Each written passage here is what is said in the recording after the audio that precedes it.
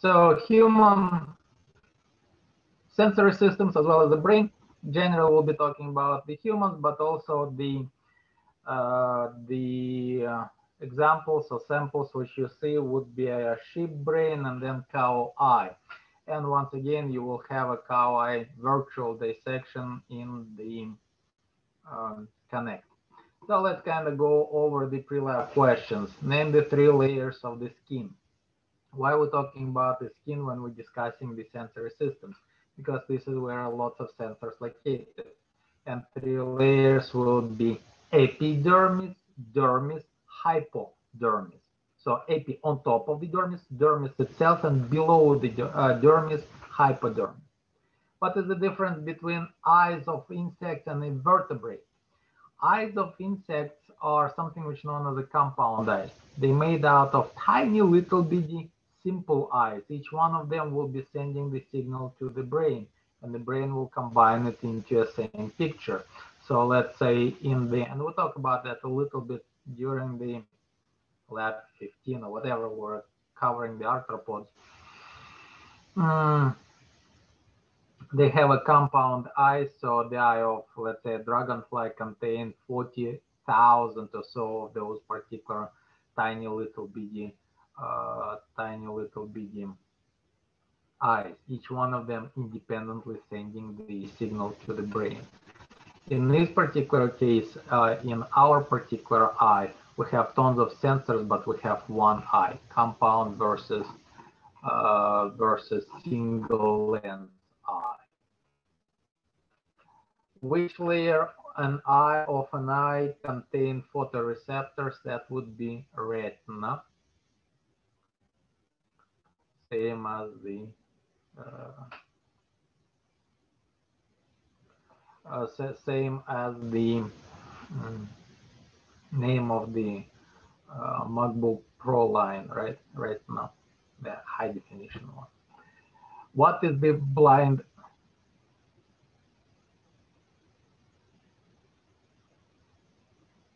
Yeah, several students reported that they had the uh, internet problems. Yeah, well, it happens.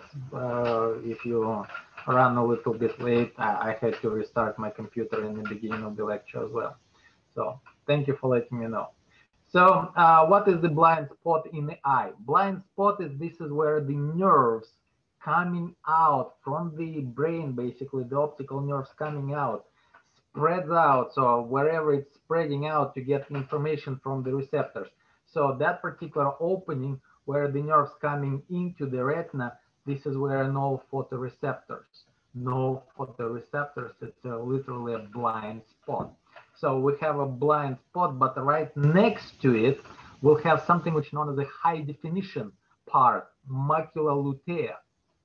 And this one is, this is basically the area where we have the highest amount of photolight sensors. As a result, that's our high definition part of the eye uh, as a result, uh, that's kind of blocking. That's why we don't really have a hole whenever we are seeing, uh, like even with one eye, we don't see that. We don't really see the black, well, the uh, black, uh, kind of in the middle the black dot because of the um, of the blind spot being kind of masked. What's really interesting about, and not everybody realizing, that our photoreceptors, this is the eyes, right? Our photoreceptors are not facing the uh, incoming light. They're facing the opposite way. They're facing backwards, which makes our eyes not extremely efficient comparatively to, let's say, the eye of the uh, of the cephalopod. So our light receptors facing backwards. That's why we have those particular nerves coming out from the front and that's why the nerves have to come out and we have that blind spot. If they would be facing forward, the photo, well, the, the nerves would come uh, from the back and therefore there will be no blind spot. Anyway, uh, where in the skin? Remember three layers, epidermis, dermis, and the hypodermis. You will find it in the dermis. Most of the receptors will be located in the dermis. What part of the eye is changed during LASIK surgery? That would be the lens. Lens, uh, we have a, a, structure which can change its shape. They, they, they're making stuff in focus.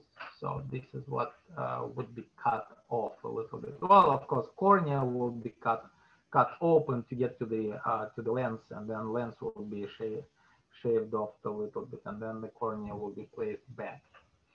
Which part of brain is the hindbrain? Well, we talk about that. That would be cerebellum, medulla, and pons, medulla oblongata, if you wish. Uh, what main function of the midbrain? Uh, that would be the relay station. It relays the signals to either higher or lower brain. Which brain controls emotion? Well, depending which one, basically hypothalamus, partially, and our cere uh, cerebral cortex also uh, responsible for that. So midbrain, front brain, or midbrain, midbrain typically. So now the uh, table number one showing you the picture of the skin in the different parts of the body. You can see this is the scalp, this is the armpit, and the one with a very thick layer of epidermis is the uh, sole of the foot. So a very top layer known as the epidermis. And epidermis is essentially made out of some of the live cell, like kind of pinkish, I guess, beigeish. And then the uh, the, the, the layer of the dead skin. So that one is the so we have the living cells, a layer of living cells, which later on dying off, creating multicellular layers of the dead cells, which will surround the shading constantly. We talked and discussed that. So that's the part known as the epidermis. Then we have a majority of the skin. This is the dermis, and this is where most of the structures will be located in, such as receptors. So you see that particular yellow stuff, yellow things are neurons, axons essentially, or dendrites neurons or part of the neuron, and they will be attaching themselves to some sort of structures. Those structures are receptors. We're not going to figure it out which one is the pressure receptors, which one the pain receptors. If you'll see on the lab practical arrow pointing to that, you just say receptor, I'll accept the answer. Okay, that's the receptor two, that's the receptor uh, I think there will be another picture which is also showing several receptors. Also, it will have something which known as a hair shaft. This is where the hair located, and the at the very bottom something which known as a hair follicle. Essentially, this is the cell which producing that particular protein structure, the hair.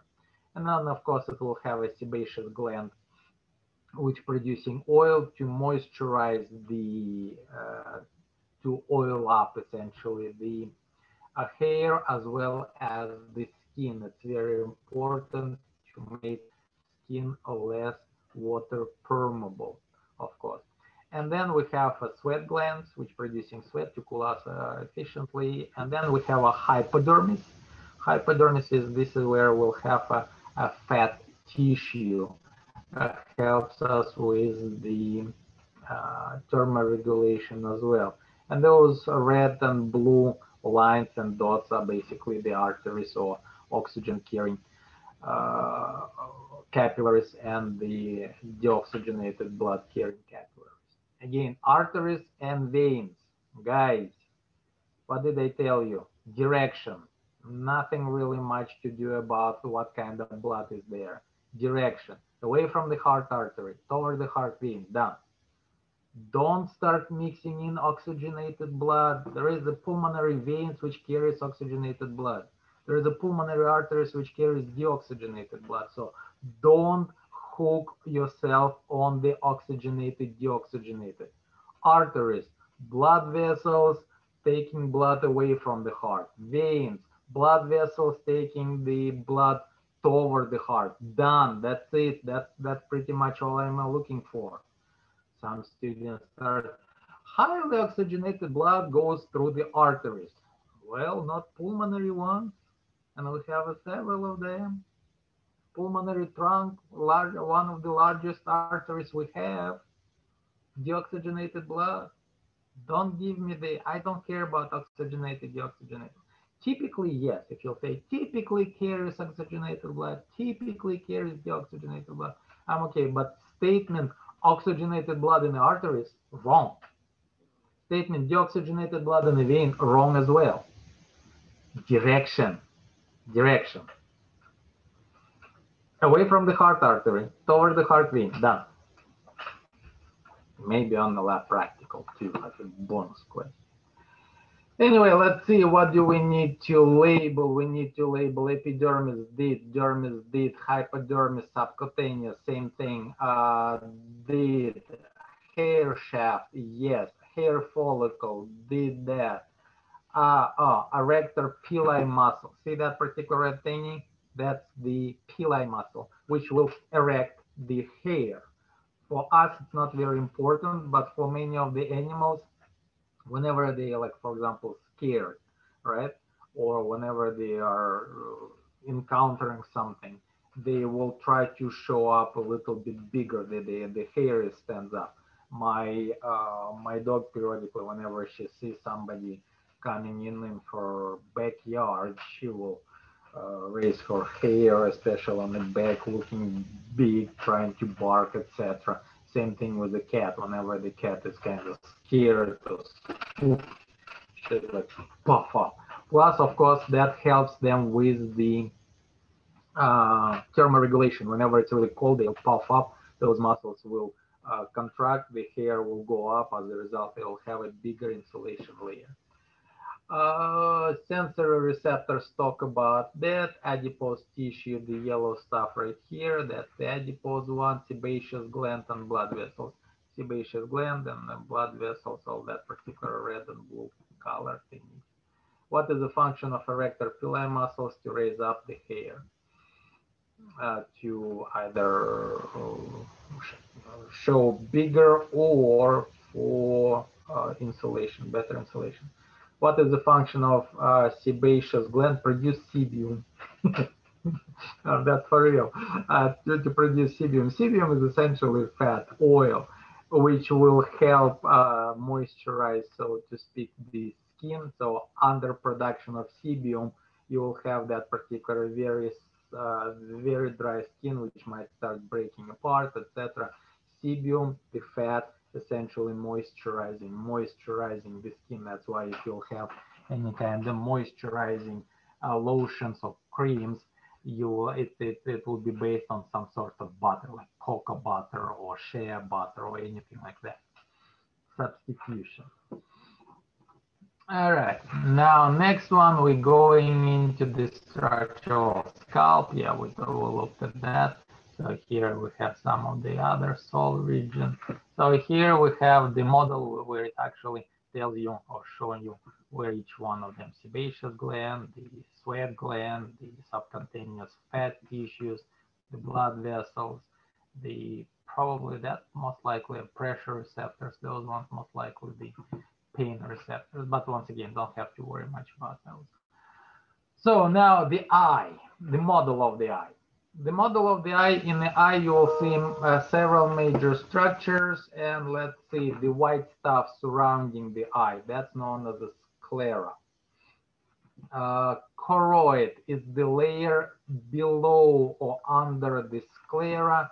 It's very, very thin, kind of reddish looking one right here. Uh, kind of hard to point it out. I doubt it will be. Yes, uh, the question was, so the uh, erector pili muscle will raise the hair when we'll have a goosebumps. Yes, that's exactly it. So now going back to the eye. So choroid, a relatively thin layer, kind of hard to point it out. Doubt it will be on the lab practical. If it will be, blame everything on me. I'll give you one extra point. Easy. So, but the cornea, cornea is the front part which is uh, which uh, allow the light to go through. It's uh, tra uh, transparent. Basically, if you, whenever you're putting the, if you are putting contact lenses, you're putting it on top of the cornea. Then the iris, that particular brown structure inside. I'll show you the close up. And then the pupil, the opening where the light goes through and it goes back to the retina, that particular orange part right here. It's all con contain all of those particular light receptors. Uh, vitreous humor, the eye is not empty, it's filled up with the liquidish gelatinous, uh, li well, gelatinous liquid, and that's known as a vitreous humor. And this particular uh, plastic ball or plastic uh, sphere uh, represents that particular vitreous humor. A blind spot, this particular part right here, this is where the nerve, optical nerve comes to the eye, sending the nerves to, set, to get the information from the receptors. So that the uh, that particular, and right next to it, you'll have a macula lutea. As a matter of fact, if you look right here, you can see a tiny little bitty yellow spot. That's the macula lutea. Humans don't have a very large macula lutea, but this is the highest, well, this is the area of the eye with the highest uh, concentration of the uh, photoreceptors you might heard that some of the like uh, let's say hawks they can see that tiny little bitty mouse running in the uh, in the grass uh, 300,000 uh, feet from, from here. Can you see that? No, you cannot. Why the hawk can and we cannot? Just because they can zoom it in? No, they cannot zoom it in. They have a better zooming abilities? No, once again, they don't have a zooming abilities they have a very large macula lutea, meaning they have a very large high definition area. So whenever they're looking, they start seeing that particular mouse running when you, with well, us, me too, uh, don't really see it because our eye doesn't have that high definition uh, area. All right, so macular lacrimal gland is our, this guy right here. The structure is producing the liquid uh, surrounding the eye and then inside the eye too. So here we have the vitreous body, the cornea, and then I think I have a better slide. So here we have, I removed the part, so cornea, the outer, uh, clear part, the pupil is the opening where the light goes through, and then the iris usually uh, changing the uh, changing the size so can allow too much whenever it's open or closed down. That's basically a diaphragm and also uh, gives us the eye color. So if you have a brown, that you have a brown eye. Uh, I have a bluish grayish colored eye, and my iris is the bluish grayish, blue officially. So that I think that yeah. So here we have cornea, pupil, lens. Right, uh, yeah, lens. Uh, it was kind of hard to see it, but lens is located behind the iris, and this is what the uh, operation would be adjusting or changing. So here we have a retina, all of that orange, that particular kind of brownish reddish layer, that's a choroid, and the white stuff is the sclera, of course, and then macula lutea, and this is where the optical nerve gets into the eye, so blind spot. It's blind because we don't have any uh, sensors there, light sensors. All right, well, the brain part. In the brain, on the exterior, you'll have to find the cerebellum, cerebral hemisphere, olfactory bulbs, optic nerve, optic chiasm, optic tract, and the cranial nerves. All right, very stuff. So let's kind of take a look on the on this part. So this is the external part and the hemispheres, right? The larger ones on the side. So those ones are nice. So that would be the uh, hemispheres. That brown structure on the side kind of look right here that structure. That's the cerebellum. Remember coordination of the movement. Now the first pair of cranial nerve will create those bulbs, right, kind of sticking right here. That's the olfactory, olfactory, the smelling bulbs. And you see they're not cross-secting, so the whatever is you smelling with your right, uh, right nostril will go into your right part of the brain, whatever you'll smell with your left nostril will go in the left part of the brain. that part right here that's cut out, but there will be optical nerves and the eyes are right here. So optical nerve goes from one, uh, one eye and the other eye, and then that would be the optical nerves. Optical nerves cross-secting, see? Optical nerve number one, optical nerve number two, and in this case, it's called optical chiasm, the merging. That's the second pair of what? Cranial nerves, the nerves coming out straight from the brain. There is quite a few of those. Again, there is 12 pairs. First pair is uh, uh, olfactory, second pair are optical.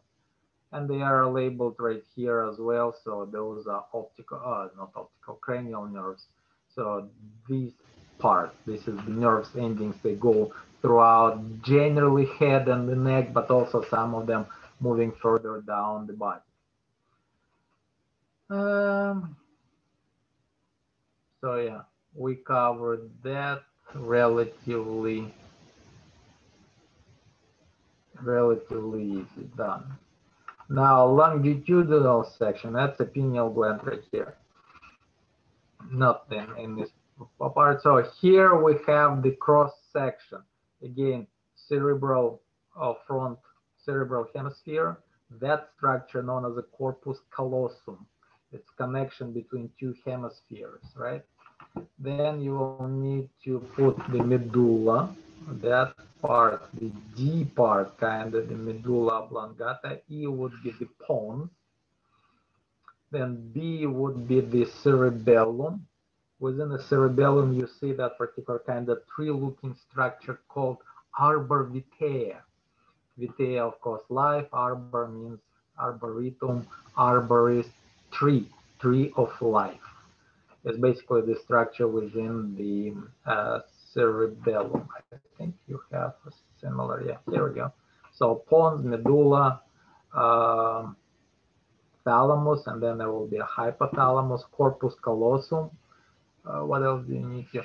gray matter and white matter. You don't really see it here, but I'll show you on the actual brain. And lateral ventricle. Oh, here we go. Lateral ventricle is very important part. This is where, remember that our spinal cord has the, oh, well, it's a hollow, it has the channel where the cerebral spinal fluid goes in and bathing, there is a several uh, several ventricles within the brain. So lateral ventricle, I'll show you on the, on the actual brain. It's much easier to see it there. But this is where cerebral spinal fluid uh, circulate. So here we have a cerebral hemispheres and again optical. Well, this is basically showing you the 12 pair of nerves. Number one, number two, uh, then uh, uh, that's number 12. So yes, all of those are showing you the optical nerves. Now let's take a look at the cross section. Again, cerebellum, medulla oblongata, pons, and that kind of hole, a cavity, that complete cavity, that's the uh, that's the uh, ventricle, lateral ventricle.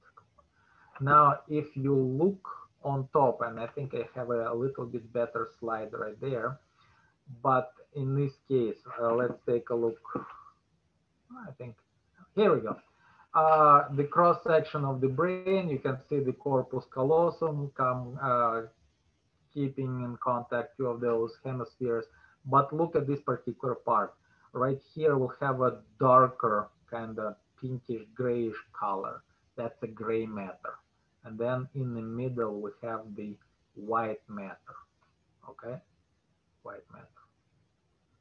And of course in uh, uh, in the spinal cord white matter is the outside and the gray matter is inside. And here we have a brain with the different areas but again you can clearly see the medulla the pons the part of the midbrain cerebellum cerebrum of course and then the lateral ventricle see that right here The lateral ventricle, which is essentially located almost underneath of the corpus callosum. So here again, lateral ventricle clearly seen as the cavity. And also you can see the gray matter and the white matter.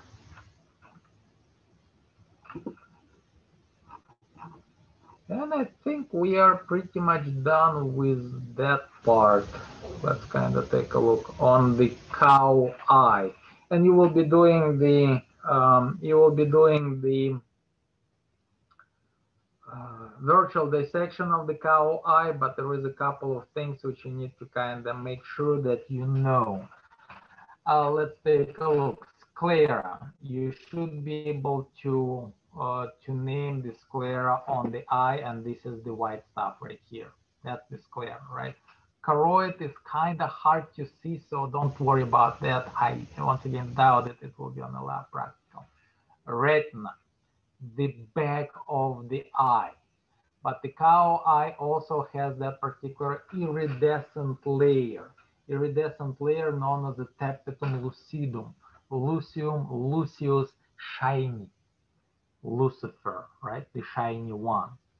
Uh, uh, so in this particular case, tapetum, tapetum means a layer or uh,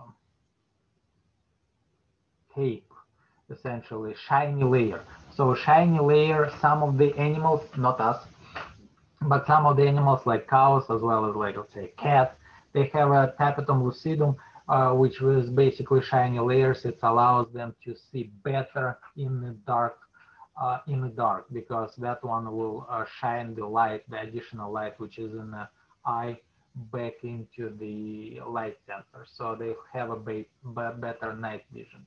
The cow has a better night vision than us. So, but they, they don't have the much of the color sensors and we have a better color vision. We do have a better uh, color vision. They don't really, they kind of have a sepia kind of brownish color, everything uh, surrounding along with the dogs and cats. So in this particular case, uh, sclera, yes, retina, please, no cornea.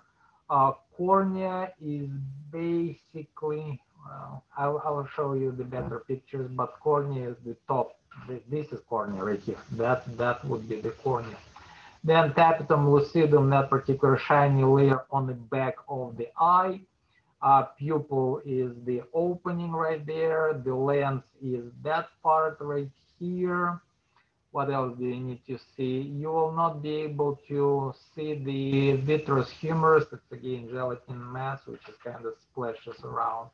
Optic nerve on the back, you can clearly see. I'll, I'll show you the different picture uh, blind spot is kind of hard to see, as well as the macula lutea on the model, lacrimal gland on the model.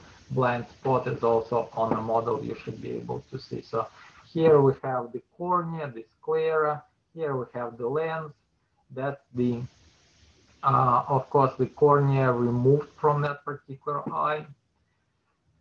And then we're looking at the shiny layer is the tapetum lucidum. And then we have the, on the back there, we have a retina. And then that one is the actual optical nerve, but they better see, yeah, then the optical nerve is right here.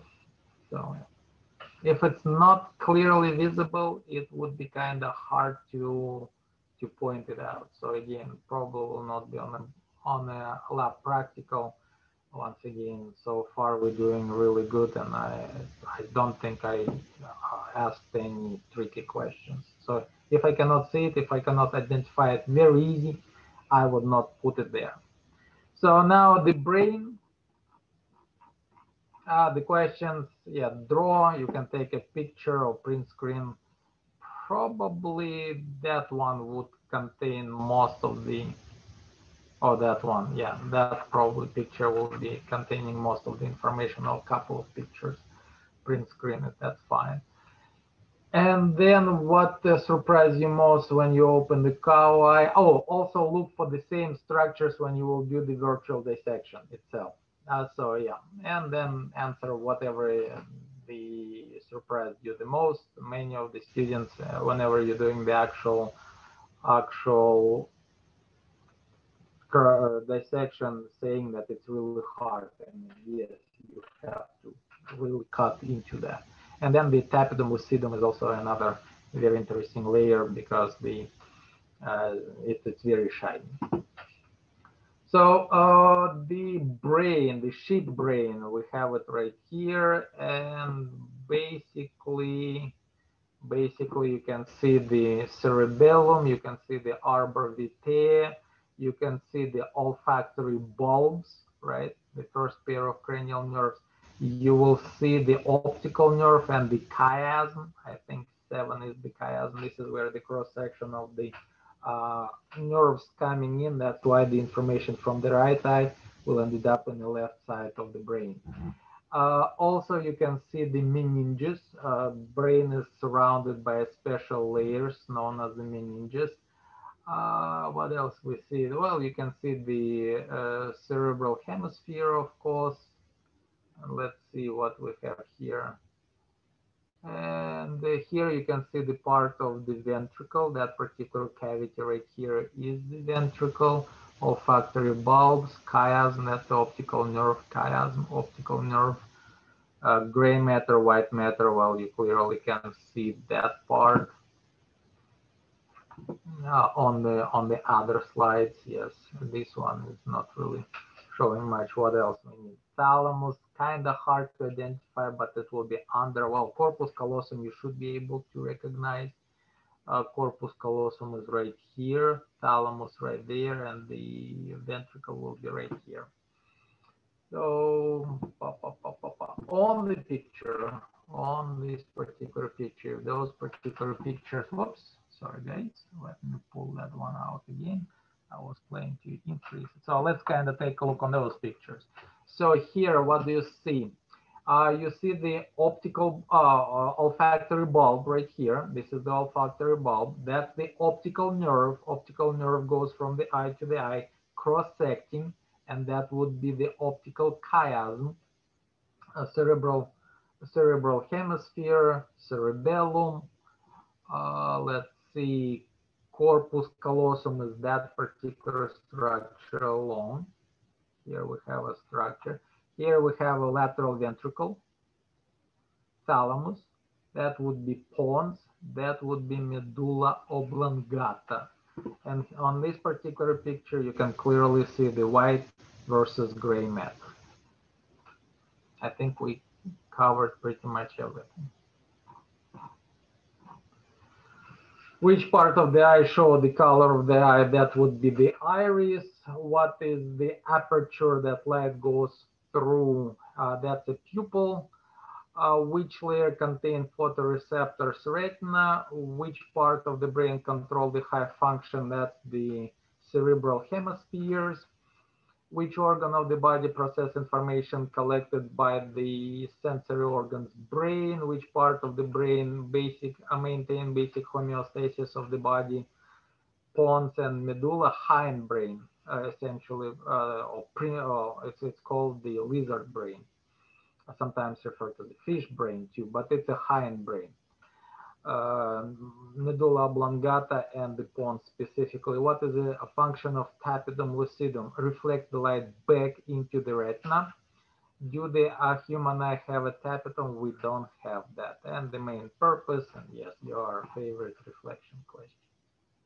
We are done with the lab. Now, it was also kind of part of the review. Let me pull it out really quickly, the review open.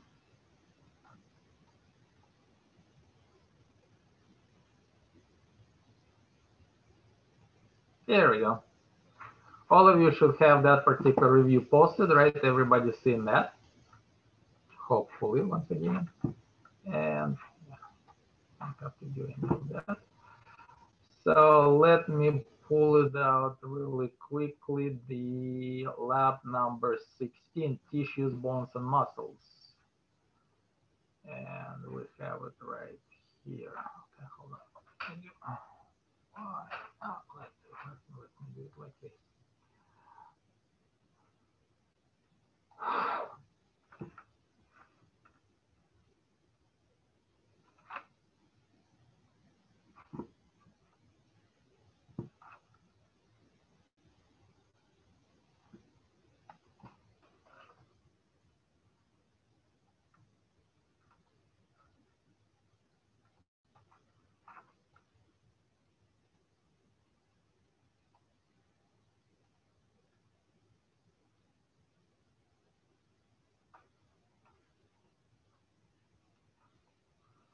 All right, let's do it again. Human body, this one right here. All right. So let's kind of take a look on the first set of questions from lab number 16. We already did it. Everything should be just fine. You shouldn't have much of the problem on that one. It's straightforward. Four types of the uh, tissues would be epithelial, connective, nervous, and muscular, or muscular, uh, nervous, epithelial tissue, simple squamous, in the squamous, the size are about, well, the, the lengths are about the same as the uh, width, but the height will be relatively small. And we're looking at the cheek cells. In the cheek cell, you can clearly see the outline of the cheek cell, which will be cell membrane. You can clearly see the darker spot, which is a nucleus and everything uh, everything between the nucleus and the cell membrane is the cytoplasm.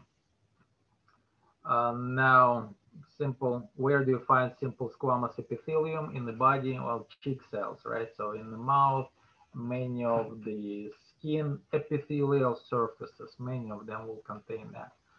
Uh, then we're going into a columnar epithelium, lumen lumen in your uh, in your lab it was said lumen.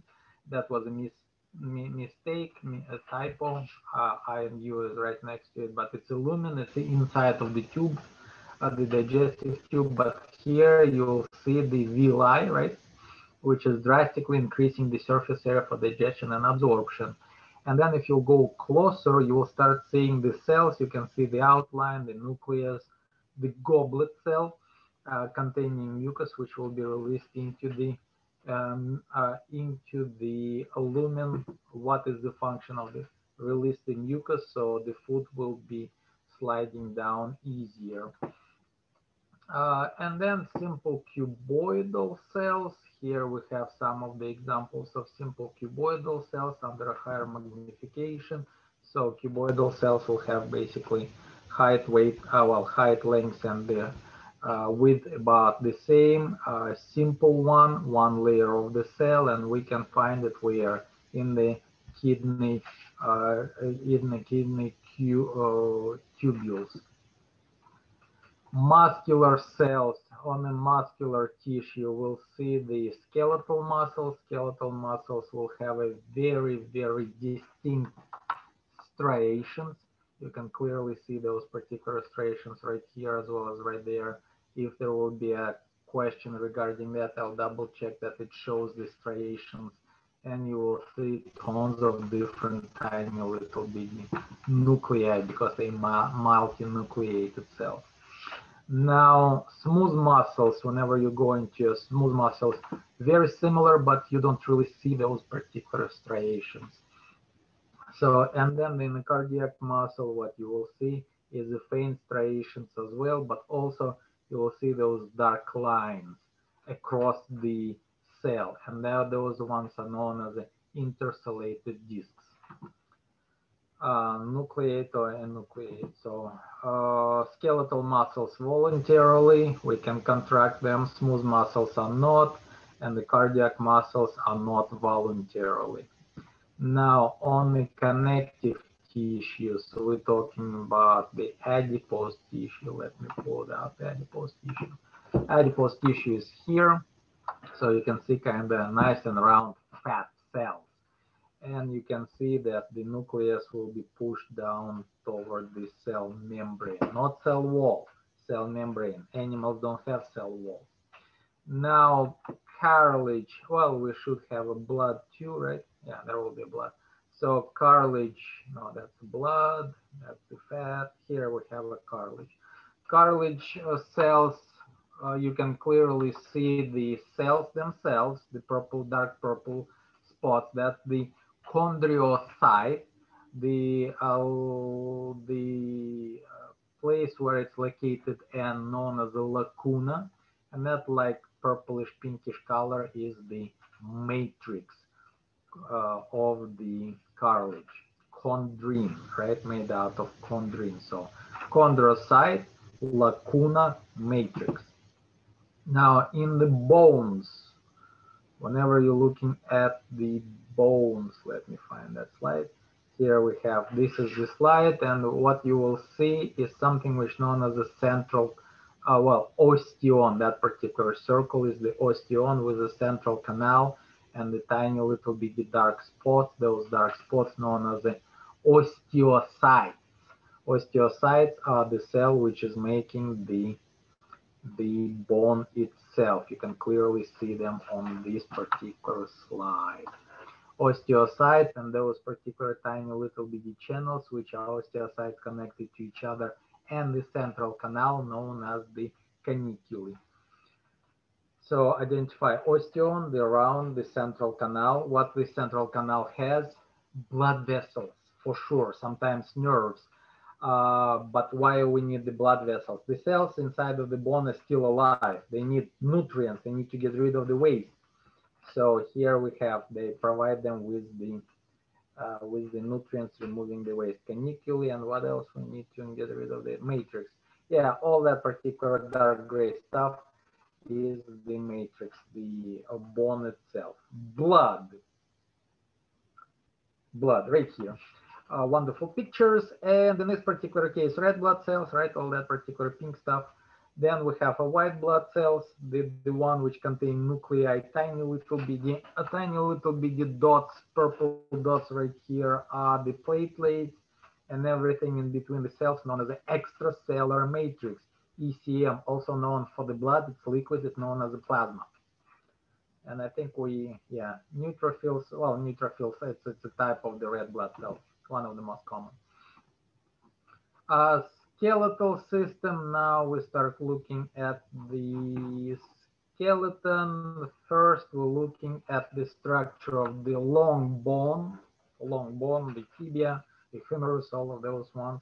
And basically at the tips of the long bone, we have something which is known as a red bone marrow. Well, first, whenever you look at the structure of the bone, you will see that there is a two very distinct layers, compact bone right here, which is kind of covering the bone. This is uh, providing the most uh, structural strength to the bone. And then inside of the bone, we have kind of like looking like a sponge. So spongy. At the tips of the spongy part, we have a red bone marrow, which is the stem cells for the blood, right? Blood stem cells. And then in the middle of that part, we have the canal, which contains the yellow bone marrow, which is uh, contain high level of fats and also play some a role in the uh, formation of the or storing of the uh, lymph. So spongy bone, compact bone, medullary cavity. What else? Region containing yellow bone marrow. Okay, cover that. Which region in the stem cells? Red bone marrow. What is difference between red and bone, uh, yellow bone marrow? Uh, well, different function, different location. Know which bones make axial skeleton. So here we have a skeleton, axial, the main part, the axis, the skull and the vertebral column.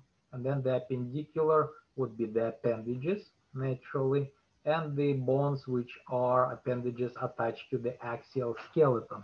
So uh, pelvic girdle and pectoral girdle. So uh, pectoral girdle, collarbone, also known as the clavicles, and the, uh, the, the the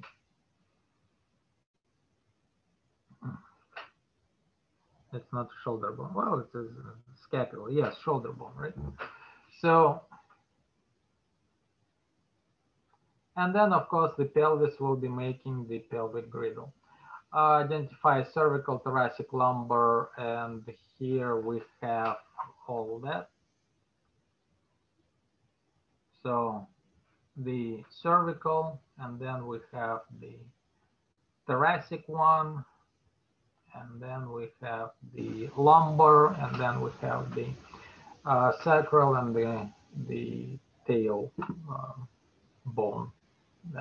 Mm, fusion of several bones together. On the muscles, on the muscles, uh, male versus female. Male will have less than 90 degrees.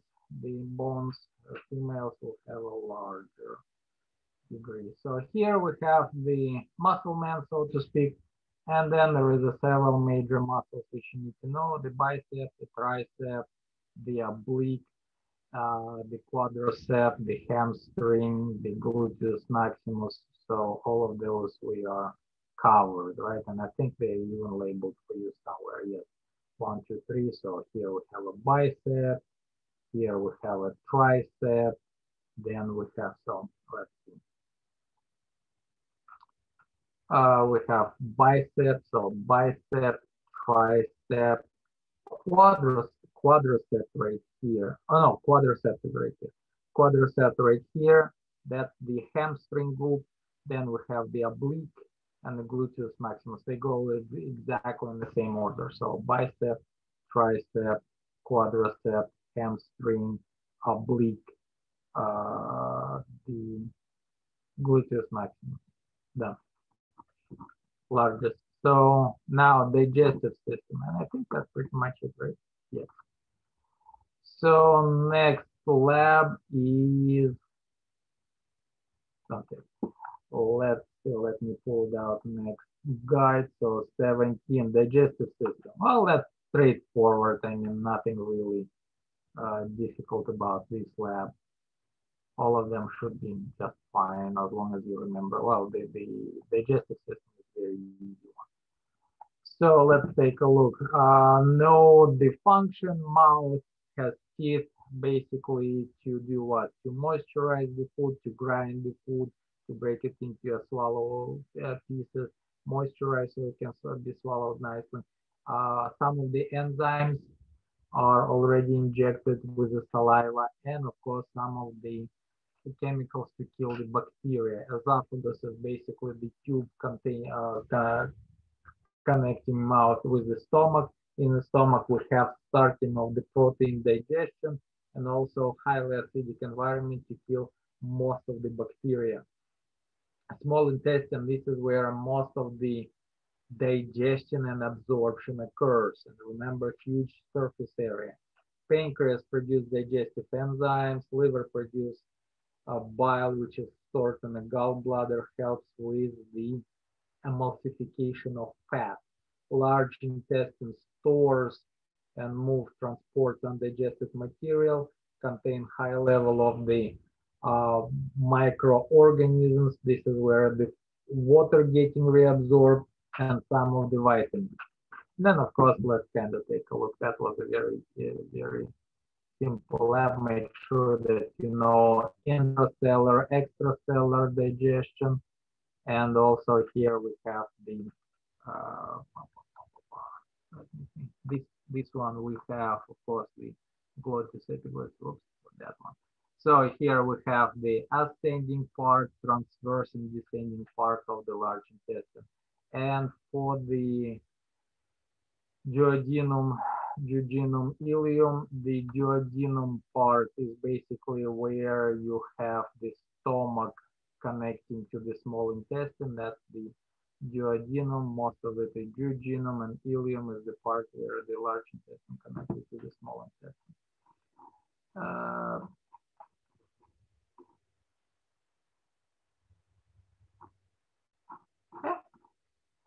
like I said, easy. Uh, let's go to the next one, which was a cardiac and respiratory. Again, not too much. There is a few structures which you need to remember. And please remember the evolution. By the evolution, we're talking about how many uh, how many chambers different group of the organisms have. So in this particular case, external and internal part we're talking about the right left atrium, right left ventricle, atriums, right atrium on either side, ventricles will be on the bottom side, apex, the aorta or aortic arch, because as you can see it's arching out. That would be uh, one of the largest arteries we have, known as the pulmonary trunk, yet it's, uh, uh, it's painted blue. Why? Because it carries deoxygenated blood but it carries away from the heart. So it is what? Artery. Uh, then, of course, we're looking at the uh, different structures. Make sure you'll remember the tricuspid versus bicuspid, and then the semilunar valves, where they are allocated, anterior, right, and the left uh, valves. What is the function of the coronary arteries and coronary veins and where they're located? Those particular veins and arteries which is supplying the uh, nutrients and taking the waste away from the heart. So they supplying the nutrients and taking away uh, waste directly from the heart muscle. So now fill the chart uh, chambers below. So here we have the structures where there is a couple of models, atrium ventricle for the fish, so chambers. Amphibians will have two atriums now, uh, right and left deoxygenated, oxygenated blood, and then it mixes up in the middle because it does not have the separation yet. That one. Uh, this is the amphibian one, the other one. So there is no separation yet, so mixed blood. That's why you can see that it's coming out kind of purplish color. Uh, so not very effective, but they already have a lung, so two circles of the uh, circulation, the systemic and the pulmonary. Uh, ta, ta, ta, ta, ta. Reptiles will have kind of three half. The separation is partial, even though blood is mixed up. In the ventricles, it's more effective. And the higher reptiles, the birds as well as the later on mammals will have a four chamber heart a representative organism known uh, open or closed. So open versus closed circulatory system, you'll see most of the invertebrates will have the open circulatory system. Closed circulatory system, vertebrate, the mollusk, cephalopod only. You'll see a snail that's open circulatory system. It's a cephalopod, squid, octopus, nautilus, those ones have a closed circulatory system, and the earthworm earthworm or the marine worms, which we were talking about, the segmented worm, uh, which is they have a closed circulatory system. Uh, now the respiratory system, respiratory system, make sure you will be able to identify that this is the lung, this is the trachea. Uh, on the model, you should be able to see the, the, the clear dome is thoracic cavity, the red uh, balloons are the lungs, and then the uh, the uh, rubber membrane is basically a diaphragm. Uh, now let's take a look on the model. On the model, you should be able to recognize the epiglottis, what's the function to close down what trachea whenever you're swallowing the food or drink. Now on the model, you should be able to uh, recognize lungs, trachea, bronchi, alveoli, capillary bed, and what gases will be exchanged. Carbon dioxide goes out, oxygen goes in. What is the function of the larynx? Voice box. Identify plaque in the artery, so diseases, things, coronary arteries, coronary veins. So coronary arteries, coronary veins right on the heart, heart, lungs, and the plaque. Here we have the yellow spots right there, that's all the plaque. As you can see, drastically decreasing the size of the artery. So less blood will be coming out and at a higher pressure. What disease condition accumulation of the plaque? Arteriosclerosis.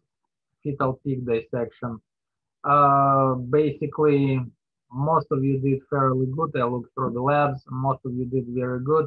Keep in mind those particular 15-ish internal structures, trachea, trachea, lungs, heart, diaphragm.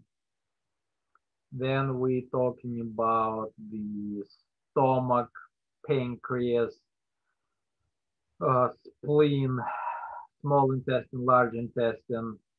Then we're looking at the kidneys, the sex of the baby, the the, uh, the, the liver, of course, the gallbladder.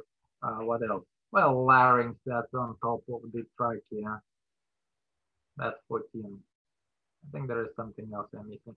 Ah, kidneys, and from the kidneys there will be kind of the structures which taking the urine down into urinary bladder ureters. So that's pretty much it, what you need to be able to recognize.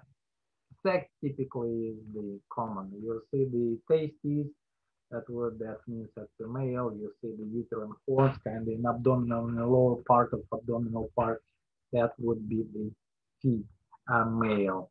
Now, number 20, excretory and reproductive. Did that. So excretory on the kidney, make sure that you recognize the cortex of the kidney, the medulla of the kidney, the outer part, the middle part, and then the renal pelvis. The renal pelvis merge into a ureter. There is two major blood vessels coming into each kidney. The bright red one, renal artery, and the blue one, renal vein. on the on the structure of the uh, nephron, be able to recognize glomerulus, glomerular or Bowman capsule, distal uh, uh, distal. Uh, so glomerulus, Bowman capsule or glomerular capsule, proximal convoluted tube, loop of Henle, distal convoluted tube, and then the collecting duct. So renal artery, renal vein. Let me see what else do we have. Uh, renal artery, vein, ureter, renal pelvis, renal medulla, renal cortex, nephron, the whole thing. Glomerular Bowman capsule, proximal convoluted, loop of Henle, distal, collecting, and the glomerular capillaries.